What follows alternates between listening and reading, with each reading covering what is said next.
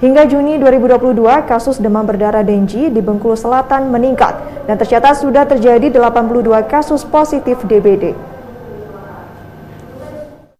Jumlah kasus DBD di Kabupaten Bengkulu Selatan pada periode Januari hingga pertengahan Juni 2022 sebanyak 82 kasus dan hampir menyebar di seluruh kecamatan. Sedangkan di tahun 2021 lalu tercatat hanya terjadi 119 kasus.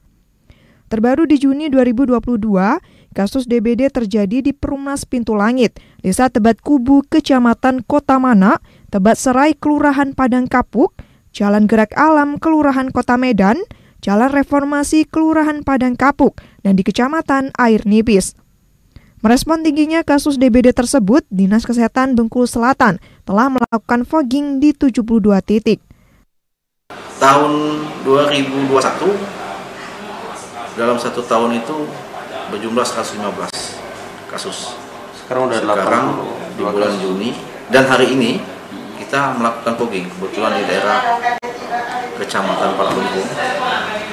Sekarang ini jumlahnya 82. Artinya boleh terbilang tinggi ya untuk di tahun 2022 ya.